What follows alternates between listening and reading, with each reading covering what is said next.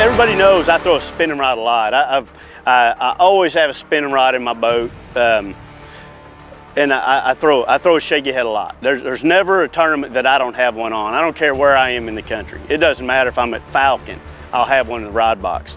Um, you know, I, I, love the squirrel tail worm, win lots of money on it, but um, the bait that I've really been doing pretty well on lately, and when the water's been a little more stained, and I feel like I need a little bulkier bait, is I'm throwing the big bite coontail.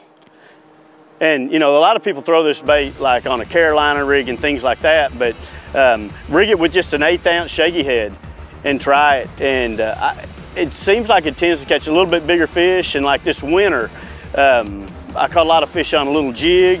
And when they quit biting that, I was able to get it. Was cold water. I, I caught a lot of, I won three or four tournaments at my home lake on that. And I caught big bags on it, like 18 to 20 pounds. So same, rig it the same way, uh, just like you would a shaky head. This is tilapia, you know, it's my favorite color. Um, just use it whatever shaky head you like.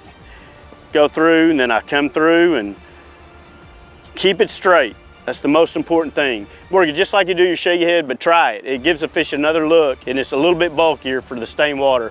That's a big bite coontail.